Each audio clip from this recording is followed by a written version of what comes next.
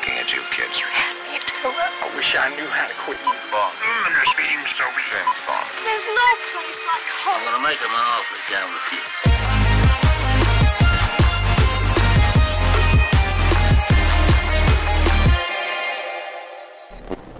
Hey everyone, thank you for tuning in to part two of our chat with Daniel Montgomery of Gold Derby. In today's episode, we break down the supporting contenders of 2021.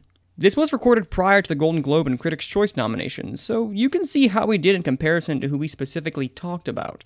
Enjoy the show, and cue the music.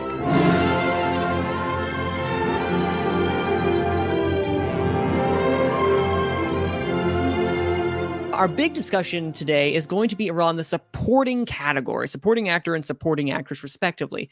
Now that we've kind of seen everything, and with the critics group, you're starting to see some of the consensus start to form. And it's kind of varied and really cool because there hasn't been a particular front runner in either category for a while. There's no like quote unquote overdue narrative. I feel like Richard Jenkins, people for a little bit of time were like, oh, let's get him a nomination. But I feel like he's really fallen recently because the humans just kind of came and went, sadly.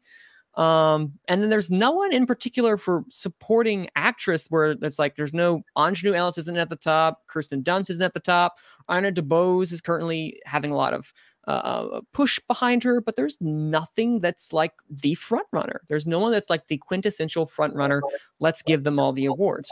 And that's really fun and exciting because we don't really have that often. So I want to devote some time in discussing just the lay of the land as we get into critics tomorrow, as we get into the Golden Globes as well, and ultimately SAG and BAFTA and the Oscars along the way. I want us to kind of a little discussion about the supporting categories because they're very rich this year. They're rich with some great supporting players, and I want to really get into that. Um, we're going to start off with supporting actor because um, that's the messiest. Um in a good way in a good way. It's messy in a very very good way. Um uh, daniel i know you have the gold derby up right now and it fluctuates i feel like man i feel like that fluctuates almost every day not literally but whenever you guys update it there's always some sort of fluctuation because there's no set five. But i want to talk about two in particular that always seem to uh, uh come up and that is the Belfast Boys, as they has been affectionately known as across the uh, film Twitter sphere. The Belfast Boys, Jamie Dornan and um, oh lord, uh, Kieran Ciaran- Hinds. Ciaran Ciaran Hinds, Hinds. thank you. I, I, you know what? I practiced this beforehand, and I still failed in trying to pronounce his name. So, uh, Ciaran Hinds is an overdue actor. Uh, absolutely, I think he won uh, NBR, um, and Jamie Dornan has been kind of writing that those coattails as well too for the past little bit. We've been getting some uh, double dip nominees recently. I think the past couple years we've had some double dip nominees with The Irishman, with um, uh, there was one also recently this past year. What was it that got two nominations? Uh, but it's been regardless. I'll look. At, I'll look. I'll look at that in a second. You guys can go and talk while I do some of the investigative journalism over here. But uh, Daniel, that has happened increasingly. The Belfast Boys, both of them. What are your odds when it comes to that, or or in this case, what does Gold Derby have and you? Because I know they're probably separate entities. I don't want to put conflate you two as the same person.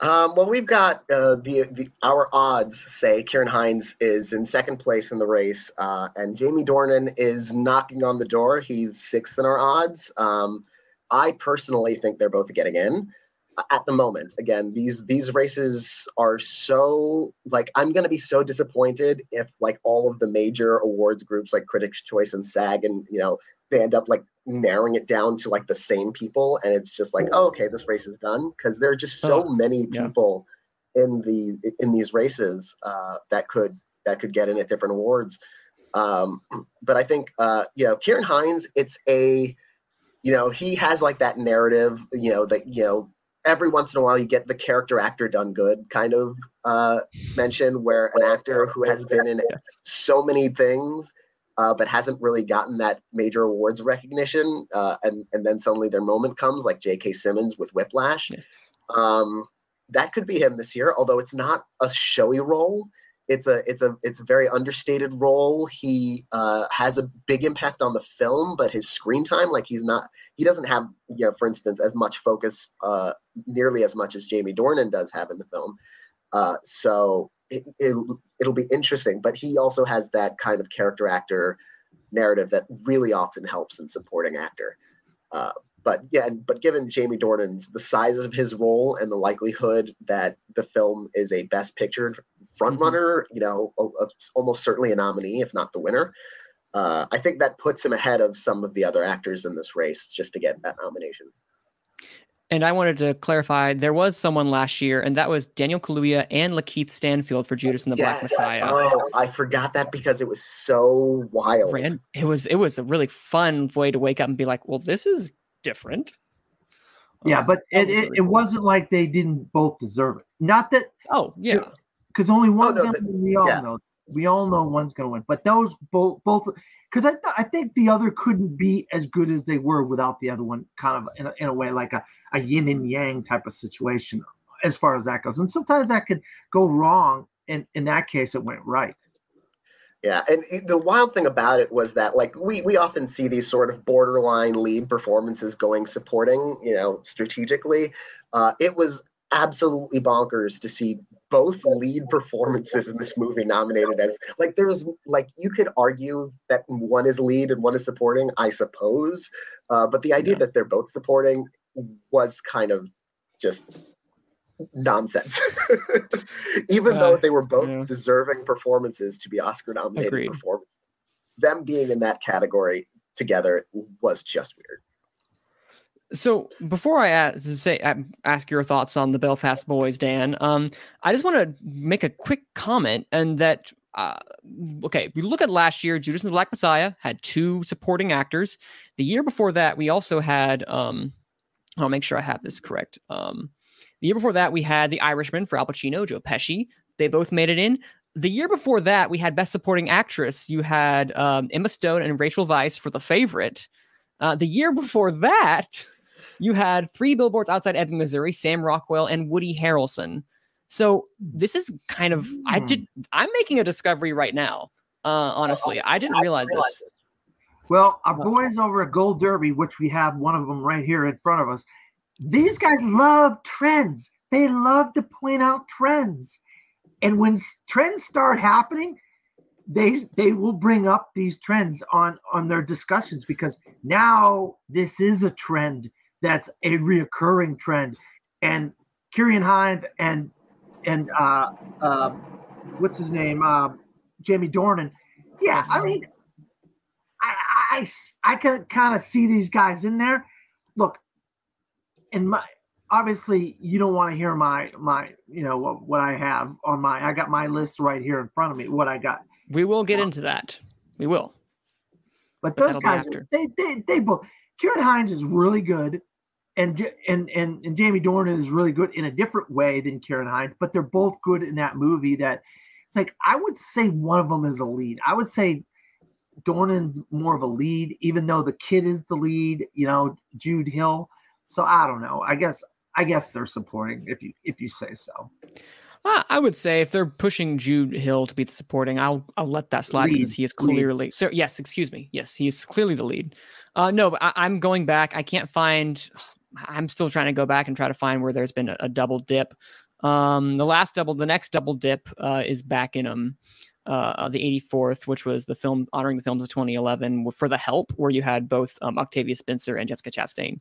Uh, but we have not, we really haven't had anything like that and so till recently. So now I've convinced myself to have them both in based upon my own statistics. Um, or not my own, but just You may have discovering convinced me to put them both in, uh, Manny. I mean, it's going to be interesting to say the least because we could have a double dip also in supporting actress, which we'll get to a bit later as well. Um, but no, the Belfast Boys are someone in particular that I think that we need to look out for. Um, but also that those, those I, I, real quick, not to interrupt. you, Yeah, go ahead. How about the power of the dog boys? Jesse I was- and Kodi Smit-McPhee. You i was literally about to mention them next. So uh the power of the dog boys. Um right now kodi smit-mcphee doesn't have a ring to it as the belfast boys so we'll just call them um uh, smit-mcphee and Tho- Plemons, those but- those dog boys sure are powerful. those dog boys. that was clever. Bravo. A little little little hand clap applause Um, the, the dog boys. Uh, Smith, Kodi Smit-McPhee is currently leading with three wins from different critic groups, and I think there's a consensus from a critical reception outside of Troy Kotsur, who's also getting a lot of love recently. I feel like too. Um, Kodi Smit-McPhee is getting a lot of love, and Plemons has gotten some nominations but no wins just yet for some of the critics. So we see them kind of as coming up from uh, behind. So uh, Daniel, tell me about the, the, dog the dog boys Plemons and Kodi Smit-McPhee. Uh, do you think that these both have a chance, or are we probably going to get one in comparison to the Belfast boys? Uh, I think they both have a chance. Uh, I think there's less likely to be a double here than with the with the Belfast boys. Uh, you know, once Power of the Dog started screening and reactions started coming out, it really started shifting to Kodi Smit-McPhee, just you know how much weight his uh, story arc has on the overall narrative. Um, and so, you know, Jesse Plemons, I think, you know, depending on how strong the film is, he could get in too. Like he he could sort of get that, you know, piggyback nomination, uh, but his role is less prominent. He has less screen time, uh, so that probably hurts him a little bit. Uh, but he's built up a, a, really great reputation in the industry. Uh, you know, just working with amazing filmmakers and and being in acclaimed award-nominated uh, films. So you know, they both could get in, but right now I think it's just going to be Cody. Well, the thing is too is like you don't want to like have one category with four people from two films, and and and and they love to spread the love around and that would be kind of a little bit too anticlimactic if you put like the same thing we'll say uh, ruth negga and um, tessa thompson in there for best supporting actress unless one's lead and one's supporting I mean, yeah Tess, tessa's is lead okay. in passing okay. and, and, ruth is all right, supporting well, then, all right then that, there goes that point that i was trying to make but, uh, unless they pull unless the academy pulls a uh, a Judas and the Black Messiah and mm-hmm. decides mm-hmm. that both the leading ladies of that movie are both somehow supporting. yeah, which you know, you know, that'd be very incorrect. Yeah, it, it's happened before, but uh, so we you just don't know. I think there's, I, I think there's enough people in supporting to get some other people in there, and and that's where I'm kind of with you, Daniel. Where I don't think we're gonna get two two nominated movies in, in, in best uh, supporting actor. I because I just think there's too many other people, and they're like Ben Affleck in The Tender Bar, Richard Jenkins in The Humans, you know, um, and some other people. Let me uh, real quick. I got my thing right here, uh, but uh, yeah, I mean, there's just too many. There's just too mm-hmm. many. Uh, Troy Kotsur and Robin De Jesus, you know, and uh, Tick Tick Boom, Troy Kotsur and Coda. So there's you're not going to get that twice. You get it once, we'll be lucky. You know, because you got to because that's three nominees. So that means you only have room for two more. Go ahead. What I was going to say is, I, I, I hope they're not.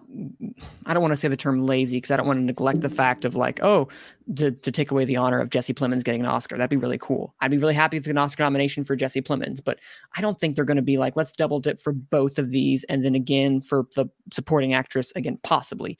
I don't see that happening for all three. It's like it's like a what if scenario. I don't see that transpiring though. Um, but you had just mentioned Troy Kotsur, who's seen his star rise really recently as the critics really started to like hone in on him. Besides Kodi Smit-McPhee, he's one that I've also seen gotten a lot of love. Um, and I kind of had the suspicion for the past little bit that Coda Star was going to rise again, especially after we've gotten some of the critical love. And Troy Kotsur's kind of come with it, even more so than his supporting actress co-star. Daniel, have you noticed that uh, in particular? I have, and I kind of saw it coming when I saw Coda. Um, I, you know, because Marlee Matlin has, you know, greater name recognition. You know, she's an Oscar winner. She's been in the industry for for years, and not as many people uh, were familiar with Troy Kotsur. I wasn't uh, very familiar with Troy Kotsur. It's not very often that you see deaf actors in film, um, other than Marlee Matlin. Uh, so mm. when I saw this film, I was looking at, you know, just how much buzz a Marlee Matlin got uh, and deservedly, she's quite good in the film. I, I think she's fantastic. Um, but I came away from the movie thinking people are going to come to this movie uh, and and you know maybe thinking Marlee Matlin, maybe thinking oh this movie's going to be good, or maybe thinking the screenplay is going to be good, uh, and they're going to come away with Troy Kotsur. He's he's going to be that kind of actor who gets a nomination because they're voting, they're watching the movie for something, and then he takes them by surprise. Uh, which very much felt like a, a John Hawkes and Winter's Bone kind of thing. They're watching it for Jennifer Lawrence, and then he becomes such a big supporting actor, contender. Uh, Paul Raci last year for Sound of Metal, people were watching that for Riz Ahmed and for the sound design and, and all that. And, you know, Paul Raci just blew everyone away so much that he just got in everywhere. And I feel like I felt like when I saw Coda and some of the strongest, most emotional scenes in Coda, I'm like, Troy Kotsur, it's going to happen. That's going to happen with Troy Kotsur. And we saw that at the Gotham Awards, where he was nominated against Marlee Matlin in the same category, and the, the jury gave it to him Yes. instead of her. So I yeah, so when I saw that, I was like, yeah, I, I think I think this is going to happen. That's a eh, that's a really excellent point too, because I think I had predicted Marlee Matlin based upon name recognition, but the Gotham's will Gotham, and they gave it to Troy Kotsur. So that's a he was the one that I took. Um, I think besides Daniel Durant, I think he was someone that I definitely gravitated towards because I didn't know who he was. He was a fresh face because we know Marlee Matlin from well, I knew her from The West Wing. That's when I first found out about her. But like she's been around for a while with her Oscar win prior. So Dan, for you, Troy Kotsur, is he, uh, and not to put a one on one comparison with Paul Raci, but Daniel's right. He's the first person that pops to mind because that happened last year when he made it in. I was super excited. Do you see that happening again this year? Well, Manning, what have I been saying for weeks now? And I don't know. You like said a lot of things, record- man. Broken record. The Academy Awards and a lot of these award shows love the person that comes out of nowhere that nobody has ever heard of. Usually it's two people from various categories and various, and they're like the darlings of the awards season.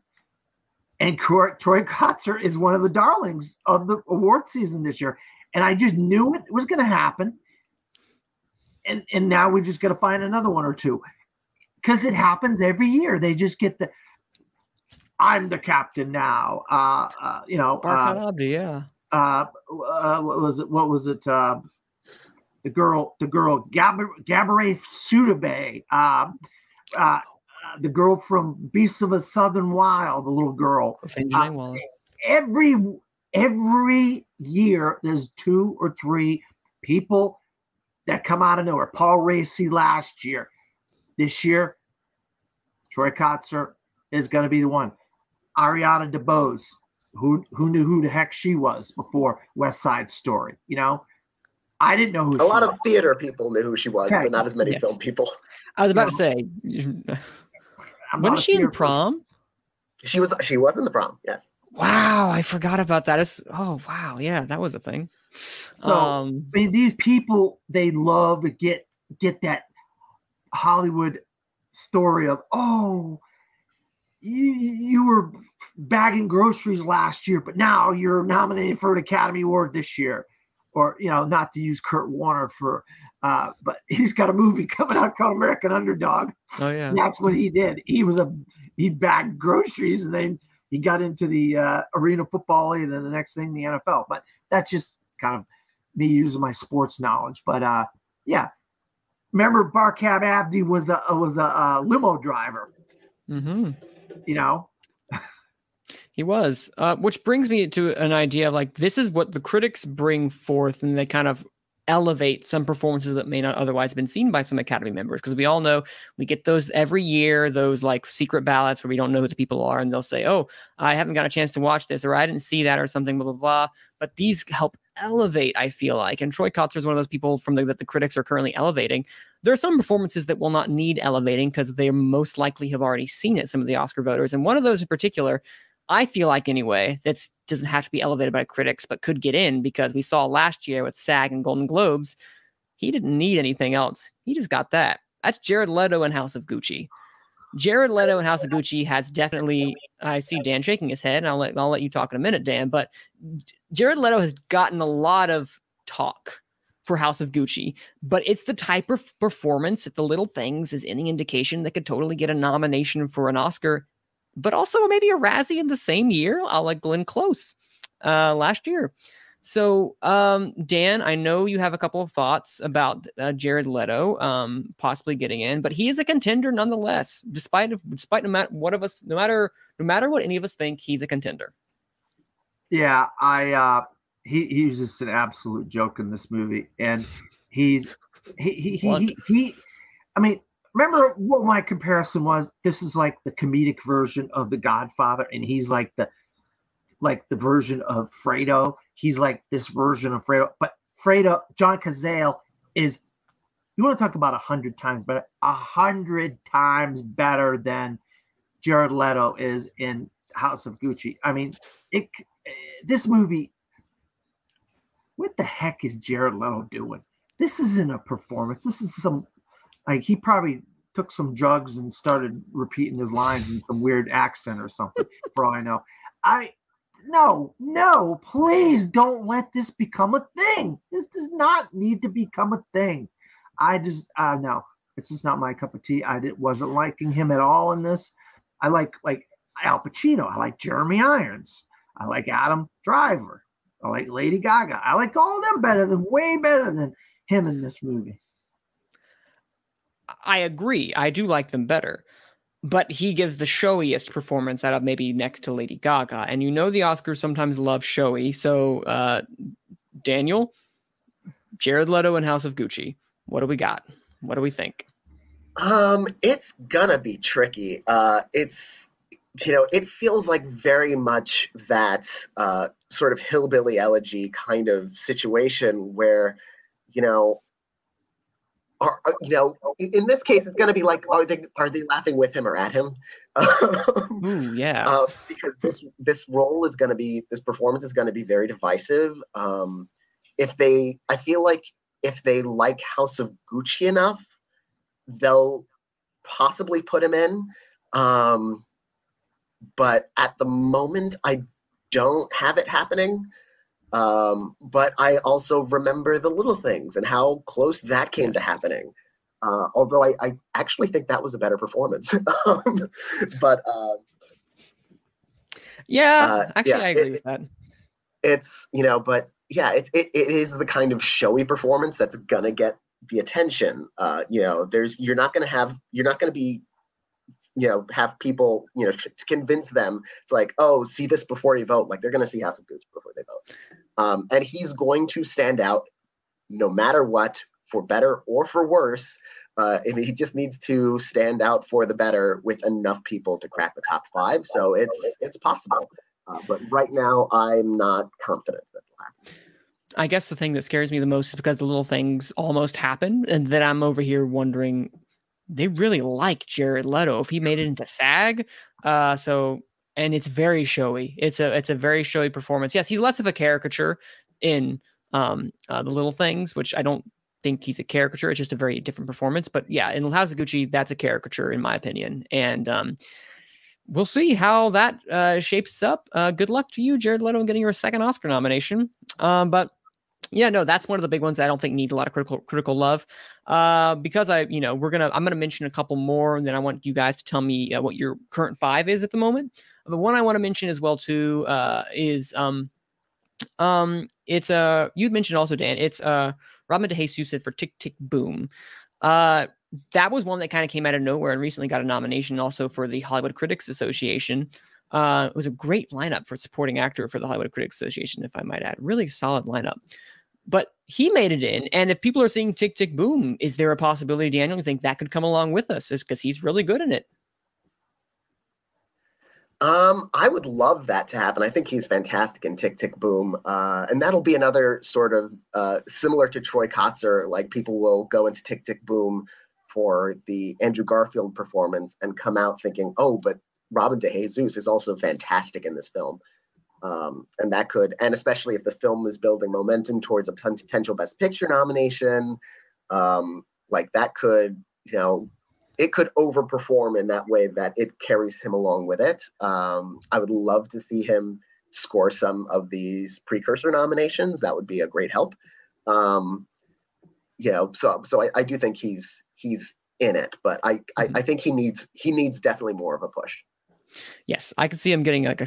I feel like SAG might really enjoy as a theater since he's a theater actor, and I think he's Tony nominated if I'm not mistaken. But SAG for could sure. really go. SAG could totally, totally go for him. Um, uh, critics could choice could totally go for him as well with the six that we have for supporting actor. He could be the sixth person. Um, Dan, you had mentioned uh, uh Robin uh, De Jesus. Tell me about your chances or you, your thoughts on his chances. Well, that's where you take away one of the dog boys, and you, you get these people like I love how that's a thing. like Robin De Jesus in there. First of all, look, we added all these people to the academy. We we we diversified the academy so we can diversify the categories. Well, guess what? Boom, Robin De Jesus. He's staring you right in the face. Perfect choice to throw into best supporting actor. Not that he doesn't deserve it, because he does deserve it to help diversify that category. Because if you're looking at this category, you're looking at a bunch of Caucasian white men in here. And he, this guy ticks two boxes. Now, Latino, and I think he's, um, I think he might be gay, but I'm not sure. Yes. So there you go. He's ticking two boxes there. You get rid of one of the Caucasian white men out of that category because it's full of them. So that's something you could think of.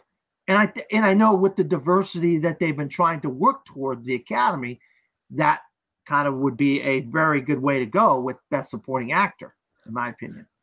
And I think also he the performance in and of itself is the definition of a supporting performance in the fact that it really does support Andrew Garfield, but he also has a great arc in of himself, and he's really good in it. I was listening to the interview. Uh, uh, he's also really a great engaging presence, so he could really work the award circuit and really do some really uh, great things. I was listening to uh, the interview he had with uh, Clayton Davis of Variety recently, and uh, he is really, really just a engaging personality. And if he works that and starts getting some nominations, I could see that happening. Could be a really cool supporting actor nomination in my mind.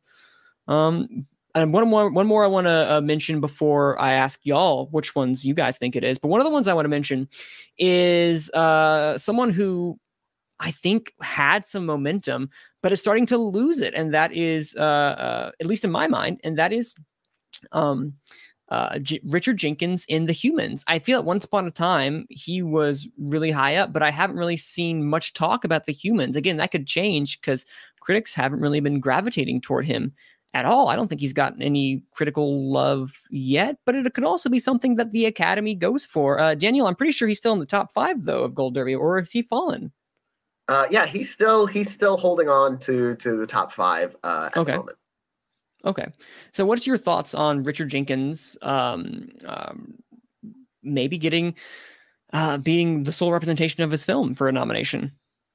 I think that's his biggest problem uh, is that you know he was higher up in our uh, odds when like this you know a lot of these films hadn't screened yet a lot of these other films um, he's sort he's got that character actor factor uh, this is a role that won a tony on broadway um, and for reed birney interestingly enough who you know could theoretically be nominated for mass That'd be fun. um, so, uh, but yeah, like as the season has progressed, all of his top competition are in top Best Picture contenders. Um, Power of the Dog, Belfast, uh, Licorice Pizza with Bradley Cooper.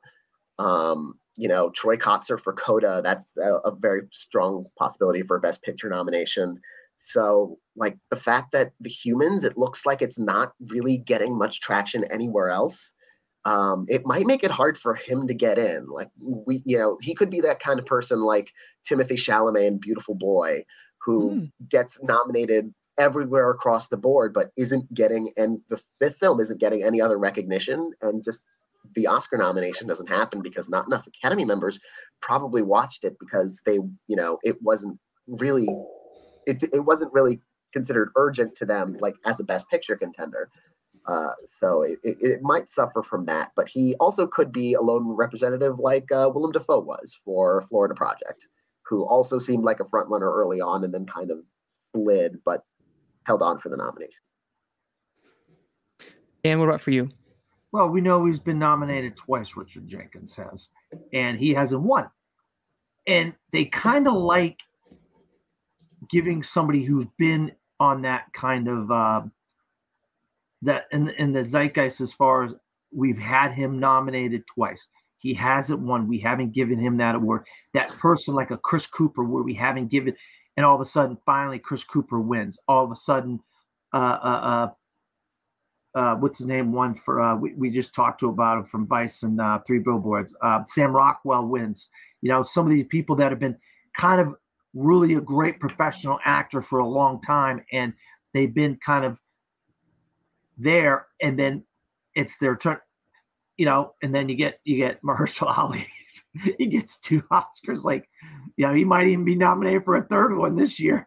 The way things are going with Swan Song, um, but I I still have him at number one, Richard Jenkins, and because I want to see this happen, I want to see him get his third nomination and finally win an Oscar because I think he's really done a great job in his entire career. I mean, he's he's done so much really good work, and he's also in Nightmare Alley as well. And is, you know, it's weird. I'll tell you, he, he's got a more kind of it's a smaller role, but it's really gets in your face what he does in Nightmare Alley, Richard Jenkins. So who knows? Maybe they get rid of him in um, the humans and put him in Nightmare Alley instead. You never know. I feel like they have to really like Nightmare Alley, which we might. There might be a supporting actress that might get in. We'll talk about in a sec. But uh no, yeah, I, I just I, I think that Richard Jenkins is something I just need to see. Um just needs to he need, he needs to be watch watch critics happen. Watch critics happen tomorrow. Watch Golden Globes happen, and this conversation is obsolete. But until then, if he misses both of those, I'm definitely going to have him out. He's my yeah. I think I think he probably might be out unless SAG can rally behind someone like Richard Jenkins. Um, actually, I lied. There's actually two more people because Daniel, I think um, uh, you mentioned it. Um, uh, Reed Birney and Jason Isaacs, the the mat. Well, I'm not gonna call them the Mass Boys. That just sounds weird.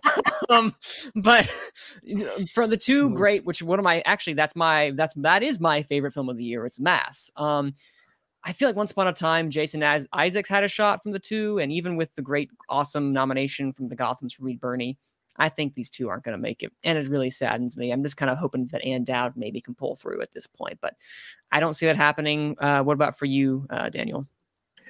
Uh, yeah, I'm not optimistic, which is sad because I also absolutely loved this movie, and I thought there was I thought there was a chance all four could get in, uh, and they oh, all four would deserve it. Uh, it, it. It's such a great set of performances. I'm I'm I'm disappointed that the film hasn't really picked up as much traction as I think it has deserved. Um, uh, and, and such a great year for like actors turned directors with Fran Kranz and Rebecca Hall and Maggie Gyllenhaal. Uh, you know, it, it, like I I want so much better for Mass than I feel like it's is is happening. Like it would have been great to see Mass on the AFI list, uh, you know, but oh. no. So, uh, but I I think it's still possible it's still early enough. You know, there's still enough awards uh, that haven't been announced, uh, nominations and awards that haven't been announced. So uh, I, I, don't I don't think it's no chance. Uh, and I'm I'm really hoping they rally, but right now it's not looking too good. Yeah, that's what I'm thinking. Uh, Dan, I have I had I don't have mass anywhere sadly in my predictions because I'm scared, and I'll be surprised if it makes it in. I'll be a happy surprise. I, I'll I want to be proven wrong. Should I be wait to be proven wrong, Dan, or am I doing the right thing? You're doing the right thing. I think uh, Mass oh. is um, gone the way of you know we're we're in Sunday, so until Mass today was Mass Day. Well, it's you know tomorrow will be Monday, so you'll be forgetting about Mass Day on Sunday. Uh, as a church reference. I don't know. hey, well, it's not midnight mass; it's just regular mass. yeah, yeah. No, unfortunately, I mean, look, I just not. I'm not going to get into a whole big thing about this, but I just don't yeah. think a movie with four people talking at a table translates to mass audiences. No pun intended. And it's obviously we saw this movie and we loved it because we love the dialogue, we love the tension so between the characters and the subject matter that they're dealing with. But the normal, everyday movie going audience wants laughs. They want action set pieces. They want, they want kind of just explosions and fireworks and all kinds of craziness. And Mass just doesn't do anything for people. And that's the problem with Mass. And and and us film fans and film aficionados, yeah, it's our cup of tea. We eat it up, but the normal people don't. And so that, I think that's why it didn't translate in a lot of these uh, categories, and people aren't just blown away. People didn't go see it. You know, people just it didn't do good. Yeah, I I think that's the issue. This just hasn't been seen as much as it should be.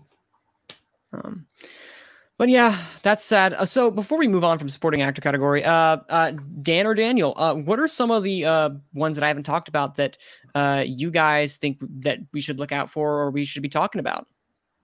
Well, real quick, I'm just going to say one person, and Please. maybe it's just because I'm such a big fan and I, and I want this to happen, and I just think it's when people see the movie, they're going to really gravitate towards this person in this role as a, as a, a father figure and a kind of like a in a way a caregiver and, and a friend and, and it covers all those kinds of things and it's an actor who's won an academy award before has been nominated got snubbed before. So it's kind of got a history with these award shows over the last 20 or so years 30 years whatever and that's ben affleck in the tender bar. Uh oh god. I loved him in this movie and i would die. I would absolutely die if they nominated him in, in supporting actor because i think he deserves it. I think he really deserves it in this in, in the tender bar uh, as a bartender slash uncle. I mean he just he, he does everything you would want from a best supporting actor in this role in my opinion. And i just think people need to see the movie and then they they'll realize what a what a great job he does. So that's my one that i have. But we've mentioned all the others. Uh, Daniel, what about for you? What are the ones that I I know there's one big one actually I've realized now that I haven't talked about and kind of forgotten that he's I think he's in the top five right now. Um, uh, but before I mention that, because he may be the one you want to mention, which one do you want to talk about? We haven't mentioned yet. Um, there's one that I think we well, there are a couple. Um, I think J.K. Simmons has a shot from being the Ricardos. Uh, like the film's reviews have been somewhat mixed, but Nicole Kidman, I think, still has a really strong chance at a Best Actress nomination. Um, and a lot of people have really responded strongly to J.K. Simmons in this role, so that could happen. Um, I also think like this this could go completely nowhere or it could be like a surprise that ends up feeling uh, inevitable. Um, i could see andrew garfield in eyes of tammy faye. And, and you know on on on a couple of factors like things things are, could like converge for him very well this season if he has enough momentum for tick tick boom that there's going to be a lot of enthusiasm behind that that could boost his profile for eyes of tammy faye and the fact that Jessica Chastain has such a strong profile for Best Actress in that film, uh, that could also boost him for Tammy Faye. So I could like I could see things lining up for him so well that it becomes sort of like you know it's like oh yeah he's he's he's also getting that piggyback nomination for Eyes of Tammy Faye. Uh, so I think I think we could see that happen in you know as the nominations come through in the next you know in the coming weeks wow that but that's just like a hunch. I'm not currently predicting it, but Wow. I, I won't be surprised if it starts happening.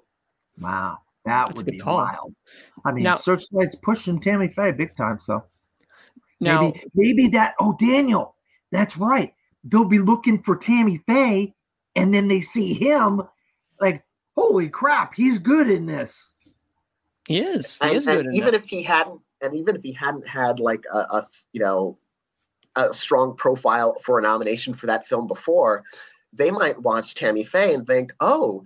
He, I really liked him in Tick Tick Boom, and he's also really good in this in a completely different role, uh, and that could, you know, push him to uh, that extra nomination potentially. wow That's actually wild. That's actually a really, really good point. Um, do you have actually you have him in addition to also getting nominated for Best Actor? So a possible. Well, obviously, I know you don't have it right now, but do you see that happening as a double nom? Yeah, if, if he got in for, uh, I don't think he would get in for Tammy Faye without also having that Best Actor nom for Tick Tick Boom, because I think the momentum from that is like like the rising tide is going to lift all of his boats. Now, the one I wanted to mention as well too, uh, that I I forgot to mention, it was on my list and I just went right past it. Bradley Cooper and Licorice Pizza. Uh, the one thing that I heard um, was that his the one downside being that his his part is very small. Um, I have not seen Licorice Pizza yet, and Dan seems to have be nodding in agreement. But I, but he's still up there for best supporting actor on the Gold Derby odds. Um, Dan still disagrees with that assessment. Are you are you disagreeing with Gold Derby, Dan? Kick him out of there. Get rid of him. Wow. If you're gonna put Bradley Cooper in any of these categories, put him in Best Actor. He's great in Nightmare Alley. He's great in Nightmare Alley. He's the fifth guy in in the Best Actor race, not Best Supporting. Get him out of there. It- that movie is phenomenal. I love Licorice Pizza. That is just the most wild, out of crazy performance. He's in like t- eight minutes, ten minutes of this. Get him. No, get people stop pushing him for that. Get stop doing that. Well, Daniel, do you disagree? Um, uh, I I don't know. Uh, you know, earlier this season, like I just talked about potential double nominations for Andrew Garfield. Earlier this season, it looked like that might happen for Bradley Yeah. Cooper, especially because he has that overdue narrative.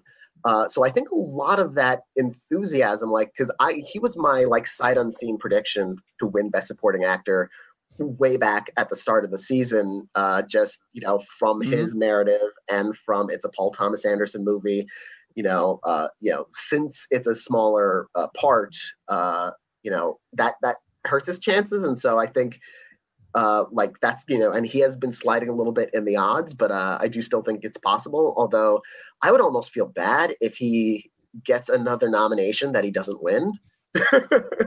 Ooh. he has been nominated eight times. it was almost like Glenn Close last year. I was thinking, don't you're not going to give her the Oscar for Hillbilly Elegy, so don't even No. nominate her because that's just uh, like wait until you're going to give it to her. You know, like You know, wait until we you're going thought to give she's it to her. going to get it the year before, Danielle. And there's nobody in their Yeah. right mind could have predicted she wasn't going to win the year before. Even though Olivia Colman was great, she was great. I cannot deny. I was Olivia about to say. She was she was great. great. I that's where Olivia Colman really was great, not the Lost Daughter. Don't get me started on that. I won't get you started on that. Uh, but no, one that I wanted to mention too was the one that I I had for a bit and was kind of flirting with the idea was John Bernthal um, for um, uh, uh, King Richard, which is a really great uh, performance, really against type for him, as I mentioned in a prior podcast. Uh, he plays this really, really, usually just tough guy and um, uh, like a very much, for lack of a better term, Punisher archetype because that's kind of like what he usually does and not saying it's bad but this one he kind of plays almost a goofy individual and i love him in what he does in this uh, i don't unless they love king richard um, and that has a shot at getting something else he could make his way in i don't know but that'd be really cool He was Um, beautiful. Uh, he was so funny. I mean, because he was funny Because what's his name was just kind of pulling his strings, wasn't he? Uh, yes great reactions Richard Richard was kind of pulling his strings, and he, his reaction to some of this stuff was so funny. And you just recently saw King Richard, so you you, you probably have a, a, a interesting opinion on this too, right, Daniel? Uh, yeah, so uh, John Bernthal could uh, be evidence that King Richard is a potential Best Picture winner. Uh, you know, because it will be indicative of just how much they love the film as a whole. Because you know, this isn't the kind of role that would normally get in, since it's you know, it's it's doesn't have its own like kind of meaty character arc, and it's a it's a lighter hearted role in in this film, um, and it would be one of the lighter roles in the category. Uh, so uh, very possible because King Richard is probably going to do very well. Um, and if John Bernthal is nominated, King Richard is probably going to do extraordinarily well. no agree with How many weeks ago did we talk about this, Manning? this very a little bit thing. ago a couple of weeks, two or three weeks ago, we talked about the same thing, Daniel. Like if John Bernthal gets into Best Supporting Actor, Anjan Aunjanue Ellis gets into Best Supporting, supporting Actress. actress This film was going to do really well. We yes we were circling we were circling the wagons around King Richard about three weeks ago. So we we had this narrative going, and you're absolutely 100 percent correct. That would be the one. You once you, if you saw that, you better start checking those King Richard boxes on your balance because it's going to do good. Agreed. Um, and speaking of King Richard, that's going to be a great transition into supporting actress. Uh, supporting actress is a little less. Um, what's the word? It's a little less.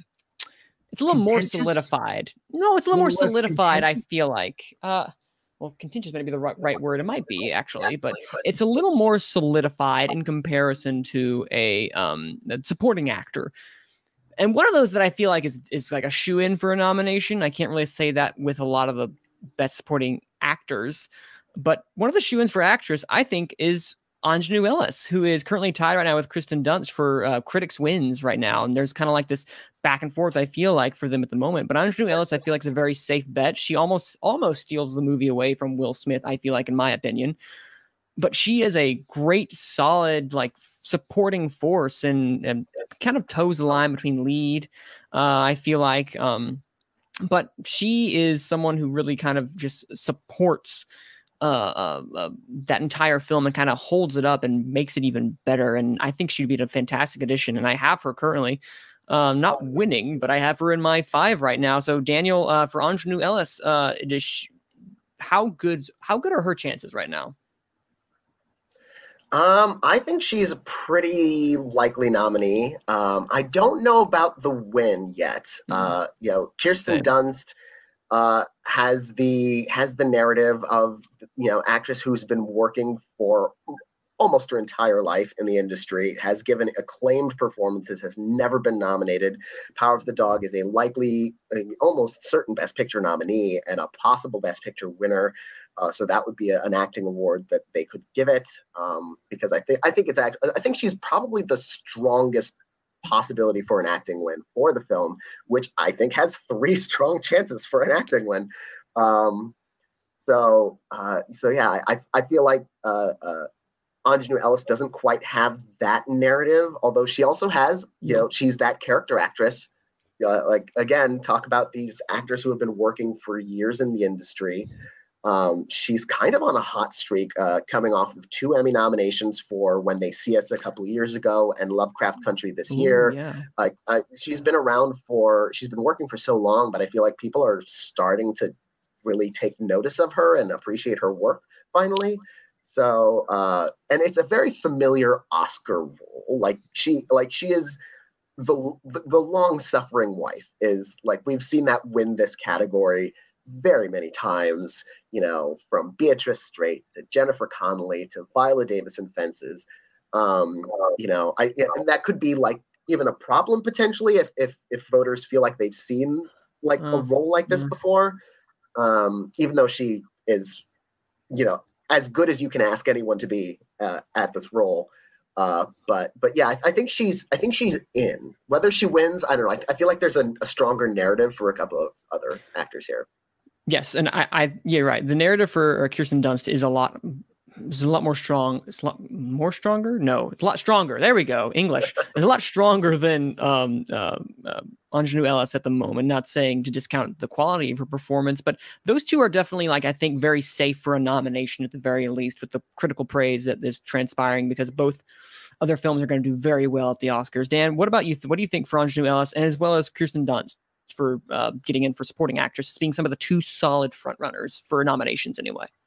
Well, yeah, they're they're they're in the five, but I mean, if you look at the performances, Kirsten Dunst kind of gives this kind of interesting performance. It's kind of like this, like this is uh, this woman. I mean, I guess it's she's drunk half the time and she's kind of like half out of it, and she's like, like, oh, here, take these, take these logs or take these whatever Indians. Come on, come on back. Get, I, but I, I vehemently disagree. but we'll have that discussion when we have a review for Power of the Dog. But please, go Aunjanue Ellis that where she's giving it to Richard Williams. Boom, there's your Oscar moment. They love their Oscar moment, and Aunjanue Ellis that when she starts giving it to Richard Williams about how I've been here for these girls and you're da, da, da, da, da, da, this, that, and the other, that's what they love. They love those moments. And so she's definitely risen up the ranks and in, in, into the five. I mean, so it could be either one, it could be either one of them. But like we said, if King Richard starts doing really well, keep an eye out for it doing really well, you know, and, and, and, and when it does good in nominations, it could do good in wins. Power of the Dog is these are two of the front runners. I mean, for best picture, really, if you really think about it. So you're gonna get the two two two big female actors in there that are going to be part of that cast. So, yeah. And I know I, and we'll, again, we'll, I'll talk about Kirsten Dunst, Kirsten Dunst later, but I think she's gives a fantastic performance, and so does An- Aunjanue Ellis. They're both fantastic, and I see them definitely as the ones who are going to be able to make it. Uh, while you're right, Daniel, uh, sh- Dunst has the uh, narrative outside of the role to be able to do it because the fact that she hasn't been nominated for an Oscar before to me is it's it's, it's weird to think about because I feel like she has, but she ob- she hasn't. Emmys. Yep. Like- Those Emmys were, you just remember in these shows, you're like, oh, I know her. I know her. And th- yeah, it's because of the TV shows she was in. And now all of a sudden she's getting to be in a movie. And like, okay, now we're starting to see this. Is- The lady's a great actress. hmm And there's another combination duo that I want to talk about, and that is we have the uh, Ariana DeBose for West Side Story and Rita Moreno for West Side Story, playing not Anita, but the new Doc character, Valentina. So, but we also have the Belfast Girls to another double dip. I just realized looking at my notes here that we could have. It's not going to happen. It's like what? It's like a probably like a 0.5 percent chance that all those happen at once in this weird, strange world. But also for uh, Dame Judi Dench for Belfast and Caitríona Balfe for Belfast. For those two sets, what is the most likelihood of all those four getting nominated and the fact that we could have a mix and match combination for Daniel? What do you think? Um, I think it's probably not going to happen. Um, I, I, I, I don't think both will happen. Uh, Mhm. I think at most one will, and I actually don't know which one would be more likely because they both kind of have a strong case to potentially be that one. Like the Oscars obviously love Judi Dench, um, uh, though I think Caitríona is the safer of the two for Belfast because she has a larger role. She has a couple of, as as Dan was saying about Aunjanue Ellis, she has a couple of those Oscar clip speech scenes that you know where she gets to be very emotional and the focus is entirely on her. Um, so so that's going to be tricky. Uh, and same same thing with West Side Story. Ani- Ariana DeBose is the much likelier of the two. Um, although Rita Moreno does also have that narrative uh, of of winning the Oscar for the film, the the original film, and then coming back in a different role. I don't think people were expecting it to be a substantial role. Uh, just No. be sort of be one of those things where it's like, okay, you know, it's sort of like a way to honor the original film, have Rita Moreno in a in a small part or something like that. And, and people saw the film and like, oh no, she could get nominated for this one too. Um, she just turned 90. Um, you know, it, it- you know, it, she's having such a, a great moment too. Like it feels it feels like she's come back into the public consciousness uh, with one day at a time. Um, you know, for a few years, uh, and and it would it would be lovely to see. Um, but it, again, there's there's so much crowding in this that I feel like it's going to be hard for these two movies to get two nominations uh, each. Again like a 0.5% chance of it even transpiring but there is because there is talk and buzz it could happen in that 0.5% chance but i don't think we're living in that 0.5% chance world um Yeah. if anything okay that then, for that to happen, you'd have to kick out either Kirsten Dunst or Aunjanue Ellis for that Yes. to happen. yes and that's a world i don't want to live in um so uh out of those two daniel what do you think is going if, if for the likelihood do you think that both belfast women are going to make it or do you perceive DeBose and moreno going to be able to make it Um, I think um, if I had to take a guess, I would say West Side Story has the stronger narrative to get both women in. You know, Mm. you- so they're sort of sharing the Anita, you know, role. Uh, so you could see people who love West Side Story could vote for them as kind of a package deal. Um, with Ariana being the stronger of, you know, having the Anita role this time, uh, uh, she would probably be the likelier to win in that case. Um, you know, you can never count out Judi Dench at the Oscars, but her role in Belfast is relatively small. Um, it, it, doesn't carry the most emotional impact in the film. Uh, so, so I feel like Caitríona will be the representative for Belfast, and if one of the films gets double, it'll probably be West Side Story. I agree with that. Dan, what are your thoughts on that possibility in that 0.5% chance world I've created? Yeah, I mean, Rita Moreno, I mean, she takes over, over a role that was a man in the original and um, older Okay. man, gentleman.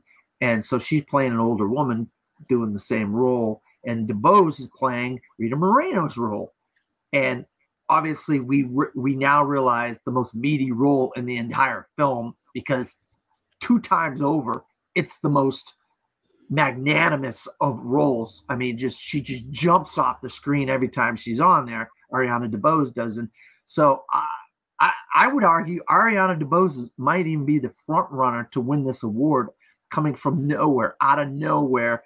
And I think you're going to get Rita Moreno at these award shows anyway, whether she's nominated or not. So I don't see her getting nominated. I think they're just going to want to celebrate West Side Story and the whole idea of West Side Story. Um, what is it? 60? Is it the 60th anniversary of this film or something this year? I'm yes, not. actually, uh, Oh. 1961. It would be this would be the 60th anniversary. So they're going to want to Oh. celebrate this film anyway. They're going to get her there at these award shows, whether she's nominated or not. So you're going to get Rita Moreno showing up at these things. And she's going to be hugging people and kissing people, and well, well, when, not with COVID, right? Maybe not kissing, that's, You know, yeah, that's but you know what I mean. She's going to be there, and so you you don't you're not going to lose her from showing up at this at this stuff by not nominating nominating her, and you can give that nomination to somebody else. Not saying that she doesn't deserve it, but like like a Marlee Matlin could get in there, or or or um, somebody like um, uh, dang it, I'm sorry, I, my uh, my thing here is you know like um, uh, let me think, like a Cate Blanchett for Nightmare Alley, or a, or a, a somebody like that, or a Ruth Negga for Passing, or Mhm. something like that, possibly. Not saying that it's going to happen, but I'm just saying. Uh, Ruth Negga is actually a really interesting uh, pull because the fact that she made it into Loving over some more recognized actresses, she made it for Best Actress. Um, I, think, I believe it was actress, if I'm not mistaken, not supporting actress. Um, yes. she she made it in over some well-established actresses, and the film wasn't even that well.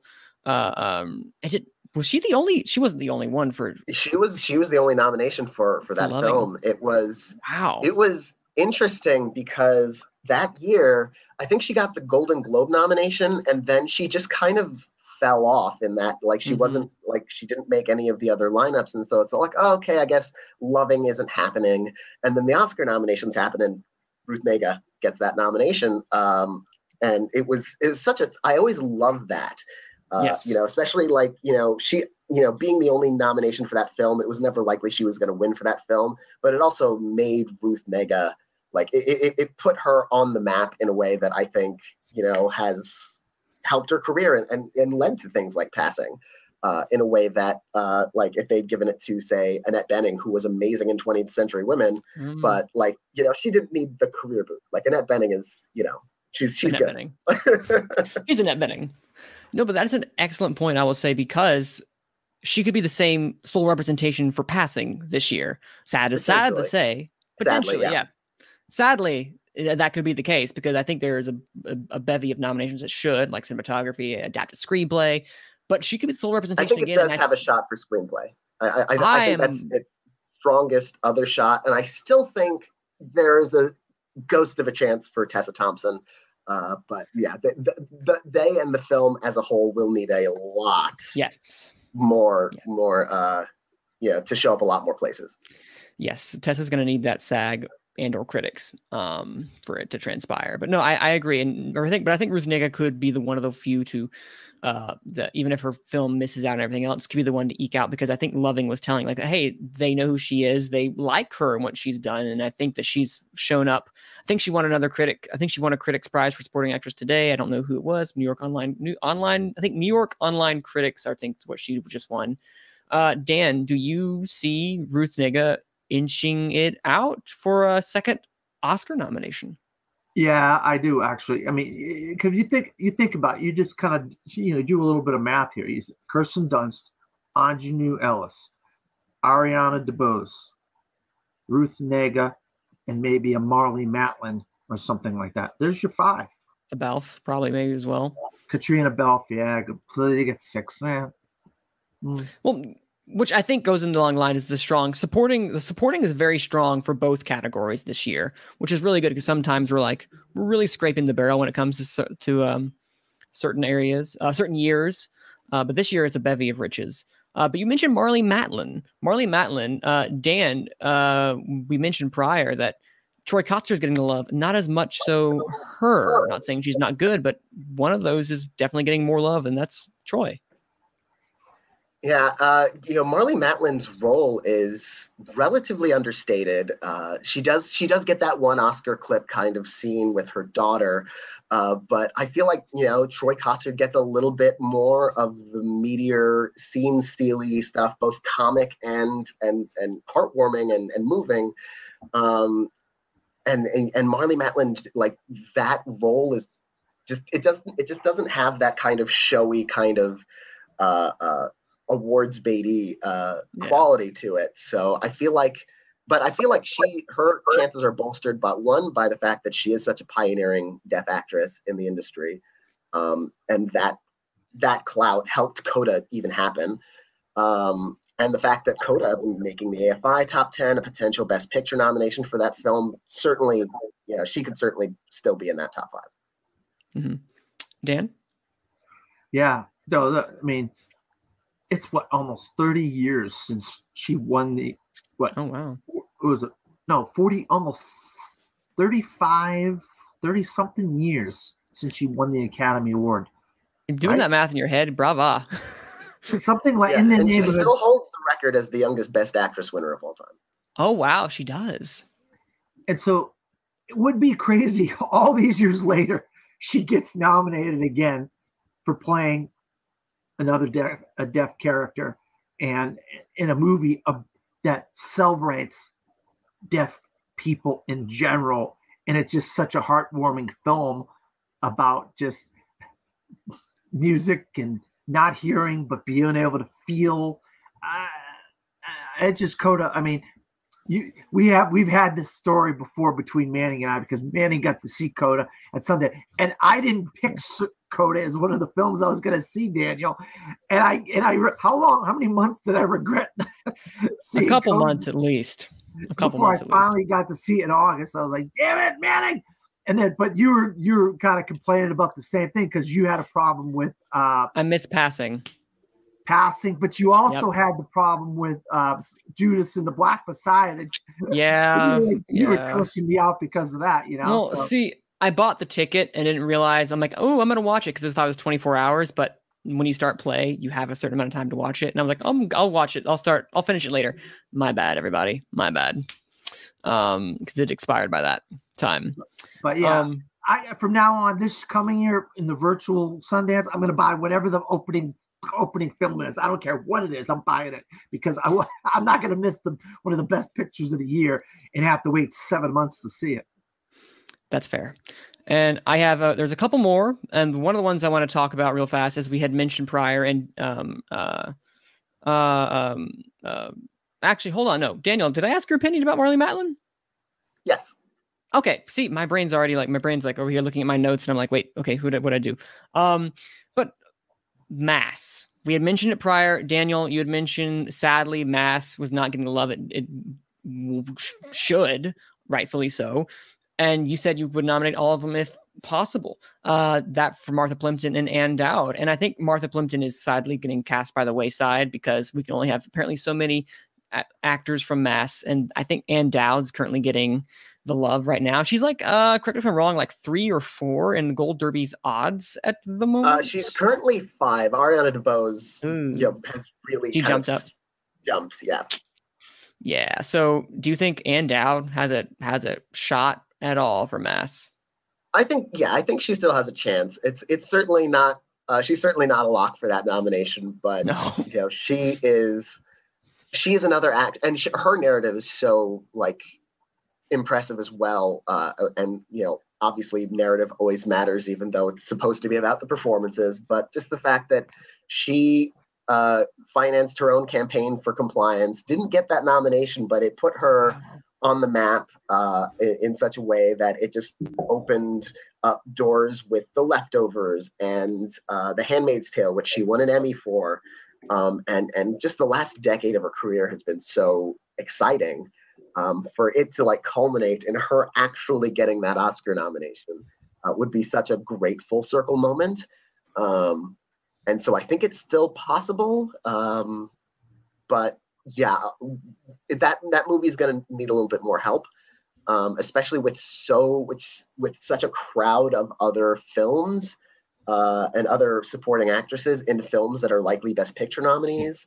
Uh, you know that are going to have a higher profile overall, which is which is her biggest uh, challenge, uh, Mhm. as I mentioned in the supporting actor race for Richard Jenkins for the same reason for the Humans. Um, so yeah, but I think yeah, I think it's I think it's still possible for her. I, I hope because she's going to need again. She is absolutely going to need um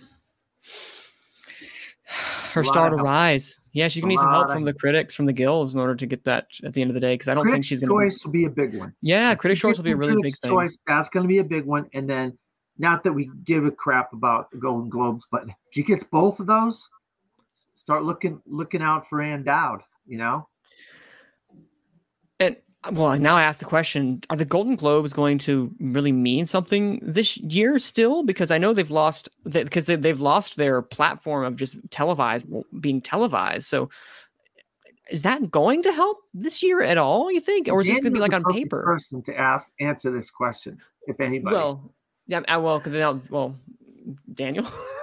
I honestly, I honestly don't think the Golden Globes are going to matter. Um, I think you know it's I like the the the just the studios and the talent. Uh, even if they're nominated at the Golden Globes, I I'm not sure anybody's going to be rushing to be associated Yeah. with them this year. So um, no one's going to be really promoting. Oh, we're nominated for X number of Golden Globes. Um, so yeah, I think I think the Golden Globes should have taken a year off and you know regrouped and see if, if that mattered regroup and you know and uh, but going forward this year i i don't think they're going to be really much of a factor one way or the other That's He's point. right. I mean, tomorrow, tomorrow on Instagram or Facebook or whatever, you're going to see the the posters of the movies. Belfast now nominated for ten Critics' Choice Awards, and if it doesn't say any Golden Globes, you'll know why. If it doesn't Yeah, ain't nominated for three Golden Globes or whatever, because that's what's going to happen on on so, Twitter, Instagram, Facebook. You're going to see the poster. You're going to see the movie. Such and such nominated for a critic's choice. And you won't see anything for golden globe then you're like okay. So nobody everybody's distancing themselves from the globe so it doesn't the, the, the nominations don't matter this year to, to people. That's what will happen. Or we'll find out tomorrow when if we do get the posters and the things such and such nominated for a golden globe you're like okay i guess it still matters I uh, I'm betting I'm betting good money that yeah we're probably not. There might be some films that do that if they only get something from the Golden Globes, like if they get nothing from critics and they want something to put on, maybe. But no, I don't think I don't. They do definitely do not have the staying power that they once did. Um, And then there's a couple- I've been seeing ahead, Manny real quick. Anything that Belfast has won or nom, a poster uh, pops up. I mean, it's just like I follow Belfast on on social media, so I'm seeing every little thing. of course. You know, so that's what will happen.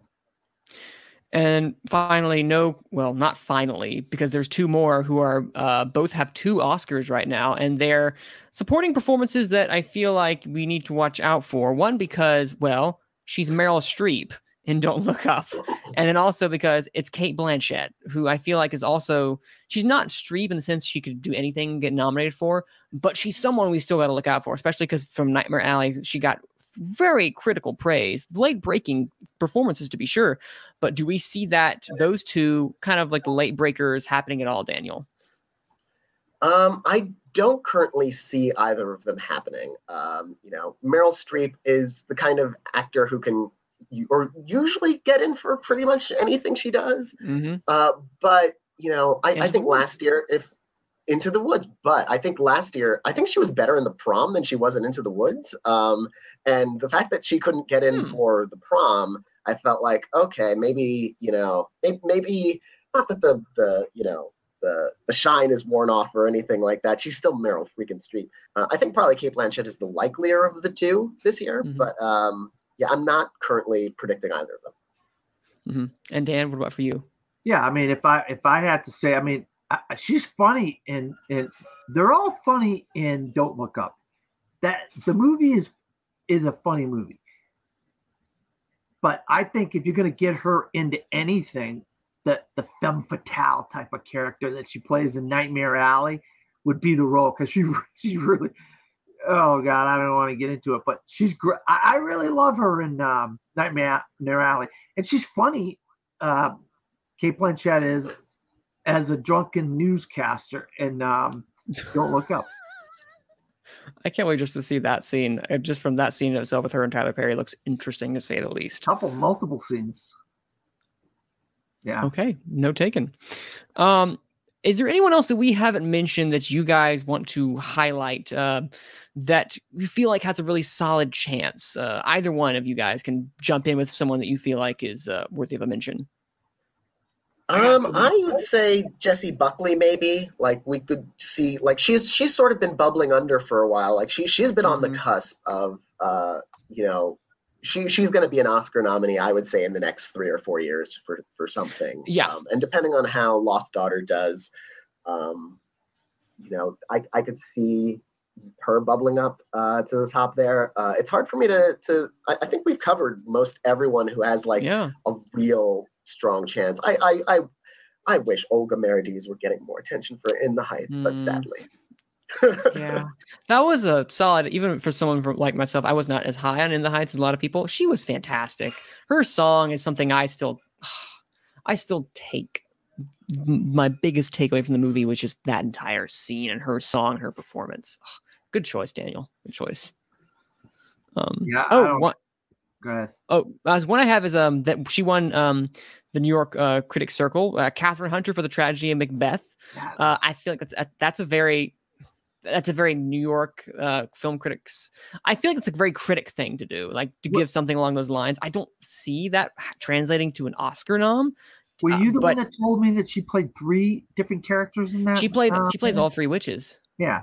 So maybe that's the witches. reason. And she's got makeup and all that kind of stuff. Yes, no? she does. They Yeah. do like makeup at the Oscars. So maybe that's what, like, well, look at this one's doing three roles. She looks different. She's got all True. makeup going on. Maybe that's that's the thing that jumps out to people in New York. They're they're they're not to say that that they're like like the the, the whole entire public of the United States, but they have a a good eye for things. The New York Fit, they have a good eye for things. They they don't just let things get by them too often. So maybe that's something that nobody knows about, but they know because it played at uh, what is it, New York? Uh, uh, which one of They them? played at New York Film Festival. Yeah, New York. So maybe that's how they know that. So we don't know it because we haven't seen the film yet. You know, who knows? No, you're right. Um, I merely throw that out there because when that was a really cool mention that they did, because I don't think we're gonna see her name pop up a lot. But hey, you know what? Strange things have happened. I think uh, Daniel, I, I guess I think we mentioned this when we were talking about AFI, but Tragedy Macbeth got a resurgence. Tragedy Macbeth's going to need a lot more hype in order to bring in probably like a Kathryn Hunter because right now I think act for for actors like I think it's Denzel. I don't see Frances McDormand McDormand. happening. Uh, she hasn't really gotten any mentions. I mean, she's Frances though, so. Um, do you see anything? Do you see Kathryn Hunter happening at all, Daniel? Um, I, I think I think that's going to be a wait and see. We'll see if if she shows up in more places in in you know cr- more critics groups Yeah. uh, and critics choice nominations. Uh, it, it, it's possible. Like there's so many things that are still possible. You know, before You're we right. get so many more nominations. Uh, but right now, it doesn't seem as likely uh, as you know in such a crowded category that has already so many established possibilities. I agree 100%.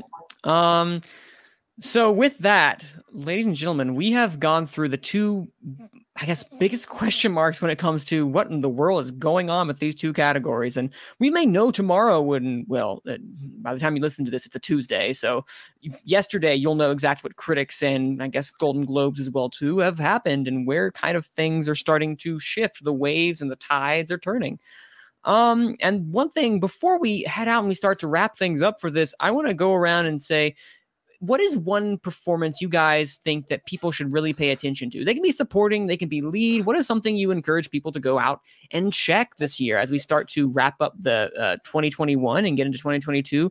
Um, uh, Dan, what is one performance that you feel like people really should pay attention to more than they already have? Well, I'm I'm I'm not good with names, especially Japanese names. But the lead, Oh. the two main, the chauffeur and the chauffeur-e um, in Drive My Car are both incredible. I mean, incredible. I I I I would be blown away if either one of these two people got into an acting category. Uh, because they're both incredible. And the guy from the main guy from uh, a hero, another name that these Mm. names are hard for me. I don't have them just at the tip of my tongue over here, but uh, or on my phone right here. So if any of these type of or the girl from worst person in the world, the leading, oh God, she's incredible, incredible. I've been shepherding these foreign films. I know. I don't want to sound like a broken record, but these performances are amazing. Amazing performances. Oh, for certain. And Daniel, what about for you? What is one performance you want people to kind of take away from this year that may have got not gotten the same love that maybe it should get? Um, well, I, I have talked about a couple of those in these supporting categories with, um, you know, like Olga Merediz, especially, uh, and the mass actors. Uh, one, you know, since we didn't talk about lead actress uh, uh, today, uh, I'd like to give a, a shout out to Tessa Thompson. Um, in passing, I want people to watch that movie. I want people to appreciate how much she is doing in not only what the character is saying, but you know, just what is unspoken in that film, um, and how just the ambiguity of that character plays out to the very end in a way that that really makes that you know ending, which I'm not going to give away, but you know, really makes the ending of the film work in a way that the power of the dog ending really brings that whole movie together in a, a really potent way. Um, and so much of that is Tessa Thompson's performance, and uh, Mhm. you know she's not getting, uh, uh, she hasn't gotten as much buzz as I think she should be getting. Uh, again, things are still possible, you know, especially if Critics' Choice does what they have done sometimes and nominates six, seven, eight people in a category, depending on how many uh, Oscar nominees they want to make sure they get in there. Um, uh, so, so yeah, I, I really, you know, everyone listening to this, uh, please, please watch Passing uh, and please appreciate both Ruth Negga and uh, Tessa Thompson's performances. Daniel, you took mine. How could you, sir? How could you? I wa- I was like, well, hey, that's good. That's good. That means that that means that we that means that there are people out there who will encourage someone else to go out and check on that film um, because it is something that is truly beautiful and should be worth seeing um, for you know it because it's not getting enough love. It's not getting the love it really deserves. Um, and Tessa Thompson is a big is a big part of that. Tessa Thompson, she's a big big part of that. Um, but I guess the one that I wanted to uh, mention now, I guess it's my backup, but uh, one of the performances that I really want to like, I guess, highlight. It's uh, um, um, uh, specifically it's Jason Isaacs in Mass. Um, he has he has been kind of falling by the wayside recently, and I want people to look at what he did. Not saying any of them are any lesser than. I think they're all on a really equal playing field, doing very different things. But Jason Isaacs, I feel like, is an actor who has been as a character actor. I think supporting performances, you get a lot of character actors, and also a leading man in some aspects too in his earlier career. But he is a performer that I feel like is doing such fantastic work, and it would be a shame that he gives probably the performance of his career. Um, what I think, um, arguably so. But this would be a great representation for what I think is a really great, great, great, powerful film. Uh, the word powerful has been thrown around for mass a lot to the point to exhaustion, but it's it's applicable. It is very applicable for that film, and I just kind of hope people go out a chance to see Mass. I'm going to encourage you all to always go see Mass uh, whenever you get the chance. It's not out yet streaming.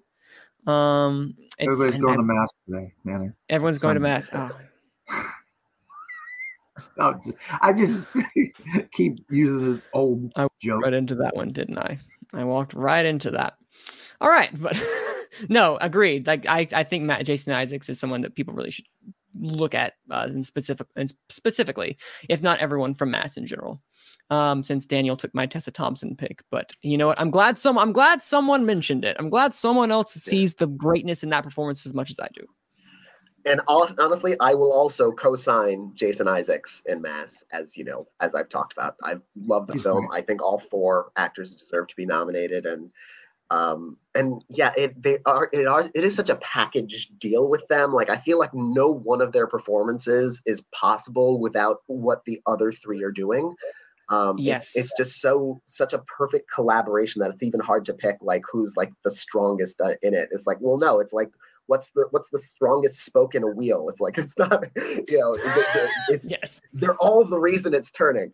So uh, yeah, Not going off on a real, we're not going to go off on this, but what do you think a SAG nomination for the cast of Mass? Ensemble? Any chance at all?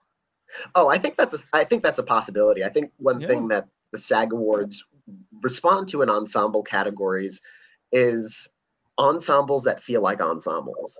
You know, so I think I think that's one of the reasons like Game of Thrones never won for TV uh, is because it has a gigantic Mm. cast, but it felt like they were making like they were so spread out that they were like in like seven different shows at a time. Ooh, Uh, whereas whereas like shows and movies where you have actors you know the actual ca- actors like interacting with each other in in like really you know concrete ways. Your little miss sunshine a family in a car orange is the new black so many group scenes in the prison downton abbey so many like upstairs downstairs dinner scenes and character interaction. Mm, so like something like mass where you have where it the the ensemble nature of it is so front and center uh, i think i think ensemble at sag is that movie's best chance of thrusting back to the forefront of the awards race uh, so not not certainly not a guarantee but i think it would be a perfect place to nominate it There you I- go.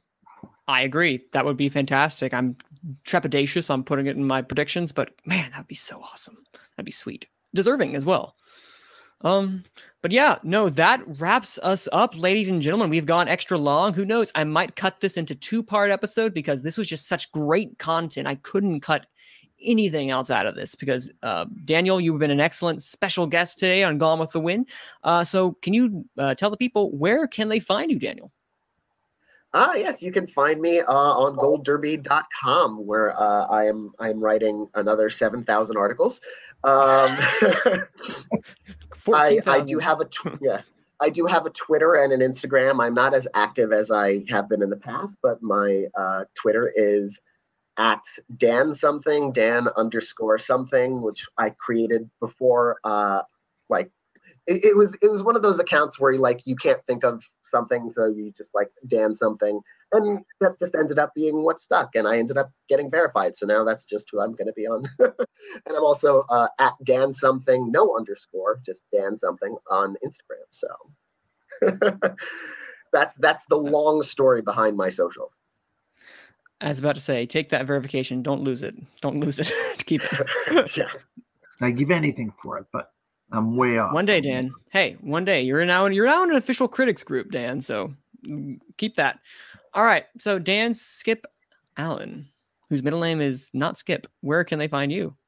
Yeah, you can find me at disappointmentmedia.com where I write all kinds of articles, you know, the latest movie reviews, TV shows, retrospective, anniversaries, you name it, or my own blog from the fourth row dot wordpress.com or my name Dan Skip Allen on Facebook, Instagram, Twitter, Pinterest. Yep, Pinterest. Yep. Yes, he does have Pinterest, ladies and gentlemen. I do not, but you And I got a you can couple find. YouTube shows. And I got Oh, a you couple do? YouTube Yes, go shows ahead. that are on hiatus right now. So they'll be back in the spring. Sorry. And no, you're fine. And of course, you can find me at Twitter at Cine underscore man. That's C I N E underscore M A N N, as well as right here hosting Gone with the Win, where you can find us on Apple Podcasts, Spotify, Anchor, wherever you can find podcasts, you can find us right there, as well as here on YouTube if you're listening to it here. Um, find us on Take Three Productions, where they house our podcast, uh, Gone with the Win, as well as you can find me every week, every other week, uh, doing and writing a review for WFMY News 2 in Greensboro, North Carolina. This week, look for my thoughts on West Side Story story. I wrote something so long, I have to condense it down because it cannot be past three minutes my review on air. So look forward to that. Lots to say, be it on air or on our YouTube page or our website. And I'd like to thank again Daniel for joining us on this illustrious day for going two and a half hours. Uh, it's been an excellent discussion, and I look forward to seeing you all next time. Thank you for joining us on Gone with the Win. Cue the music.